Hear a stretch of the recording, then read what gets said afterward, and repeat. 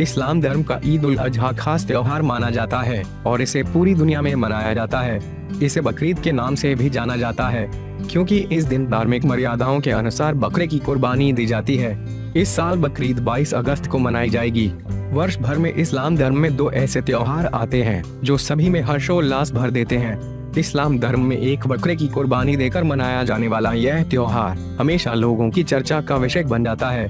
जिन लोगों को इस धर्म तथा इससे जुड़े बकरीद के त्योहार का पूर्ण ज्ञान नहीं है, वे नहीं जानते कि क्यों बकरे की कुर्बानी देने का महत्व है।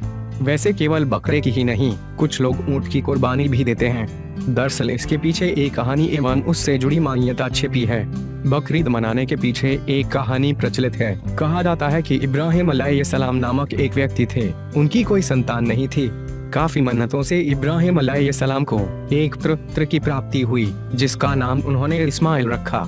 एक दिन इब्राहिम को सपने में अल्लाह ने उससे सबसे प्रिय चीज़ की कुर्बानी देने के लिए कहा।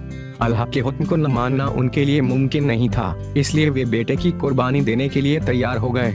लेकिन जैसे ही वो अपने बेटे की बलि देने लगे, उसी वक्त किसी फरिश्ते ने छुरी के नीचे से इस्माइल को हटाकर एक मेमने को रख दिया।